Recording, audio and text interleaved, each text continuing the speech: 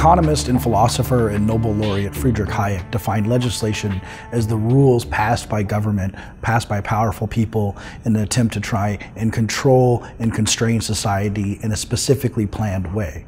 He defined law as the rules that emerge from the interactions of people. If you look around the world all the time, if you look how people walk down the street, if you look how people ride the subway, if you're sitting in a room with a bunch of people and no one's sitting on your lap or getting too close to you, all of you are following laws. And sometimes people break those laws and we figure out how to deal with it.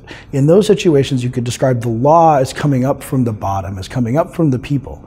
Now, in the other situation, we have legislation that comes down from the government. And legislation is often a plan. Whose plan?